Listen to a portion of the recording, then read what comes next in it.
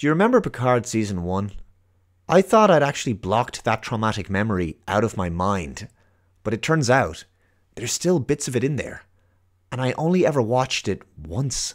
You could have helped us, Picard. How? I didn't have any ships. Liar! Fuck off, Raffi! JL, just admit that every bad thing that's ever happened is your fault! No!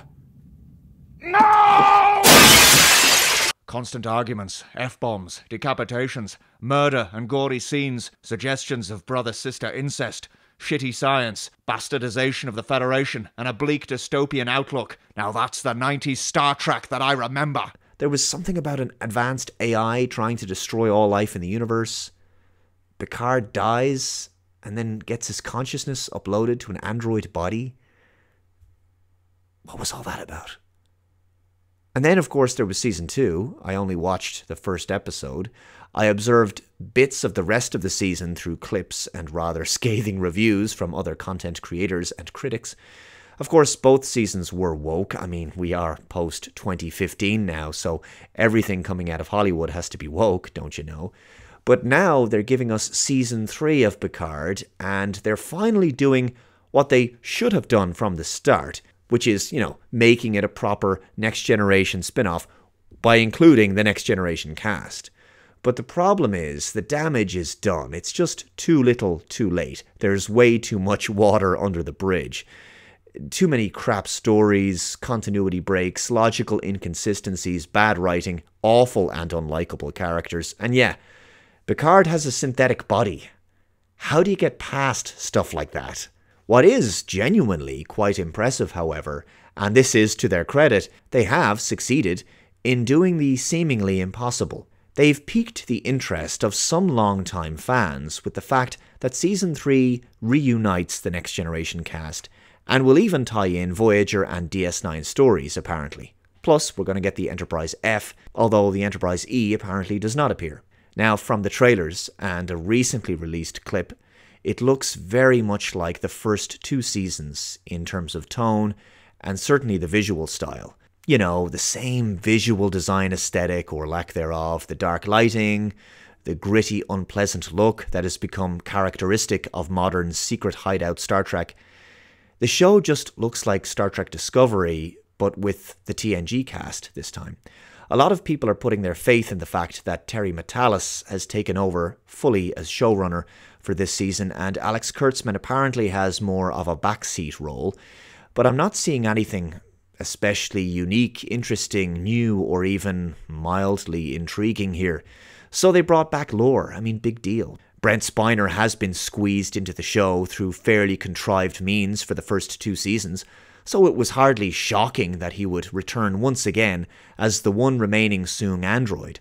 Moriarty's inclusion I think is extremely left field and just feels like the thinking was what were some of the great memorable TNG villains? I know, let's throw the hologram Moriarty into the mix. He was popular. It just feels very contrived and unnecessary. Now, the CGI space battles also look a bit on the cheap side. As I've said before, the visual effects from the Orville look way better than this. The space shots for Picard Season 3 look like something from a decent fan film. And that's really the feel I get from the trailer. It sort of reminds me of that Star Trek fan film, Star Trek Renegades, that Tim Russ and several other Star Trek alumni were involved in several years ago. And then, unfortunately, the Star Trek fan film guidelines came in, so for the sequel, they had to remove all of the references to Star Trek from the script. They changed it to just Renegades, and all the Star Trek references and character names were changed so that it was no longer associated with the Star Trek franchise anymore. But anyway, that first Renegades film actually had some potential, and it looked and felt sort of similar to this. But while Renegades was a commendable independent production, Star Trek Picard Season 3 is officially licensed Star Trek with a massive budget, and it doesn't make much more of an impact than a well produced fan film. Up until the disastrous fan film guidelines that effectively ended many popular Star Trek fan film projects, if you wanted some decent and new Star Trek, fan films were the way to go. Star Trek continues, also unfortunately ended not long after the fan film guidelines were introduced. That was a very impressive series, and it perfectly recreated the lighting, cinematography, set design, and tone of the original series. And as I've mentioned before, there's even been a few very clever and talented filmmakers who've managed to make very good Trek fan films despite the guidelines, like Gary O'Brien. He's the director of two Trek fan films, Chance Encounter and The Holy Core, well worth watching. But my point is, modern Trek has never felt true to the optimistic spirit of Roddenberry's creation, and so some fans have taken it upon themselves to make their own fitting tributes to the sci fi franchise they love so much. But these days, official modern Star Trek has sought to subvert fan expectations to such a degree that the franchise is just unrecognizable now. They gave us two seasons of Picard that long-time fans, generally speaking, didn't really like all that much.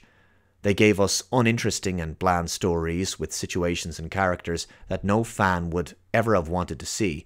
Now, finally, when they are at last giving fans the return of the TNG cast they wanted, it's still largely delivered in the same dull, serialized, dark, edgy modern Trek format and I guarantee you it'll probably take half the season in order for the plot to finally begin to unfold, just like the first two seasons. The story will probably be very slow to get going.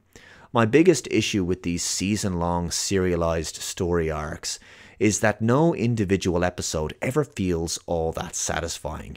You can't really watch one episode in isolation because the story isn't self contained. With the exception of some of Enterprise and DS9, most of Star Trek was based around the standalone episodic format. But with the rise of streaming services and especially binge watching culture, every episode has to end on a cliffhanger now, and the audience has to be hooked in on some kind of mystery that unfolds slowly over several weeks. So now new TV series are produced with a view to being serialized story arcs. The issue with this is it gets old after a season or two, especially if the story isn't absolutely amazing, because it ultimately just frustrates audiences. But I personally think that it's actually incredibly lazy and unimaginative because, in reality, all they're doing with modern Trek series, Discovery and Picard, is taking fairly derivative and bland stories that could be wrapped up in two or three episodes, and instead they're stretching them out across 10 episodes. Now, I will say, of course, at least Star Trek Strange New Worlds is mostly standalone in its format. Unfortunately, the show just isn't really very good. Finally, Star Trek Picard Season 3 may very well be an improvement over the first two seasons, and there will probably be a few fan service moments, some member berries, nostalgia baiting, that sort of thing, but it won't undo the damage the first two seasons did. And Picard will still have a synthetic android body. So, there's that. Too little too late. Thanks very much for watching, guys. Be sure to comment below, subscribe if you're new to the channel. Please hit that like button and all that other good stuff, and I'll see you next time. Bye bye.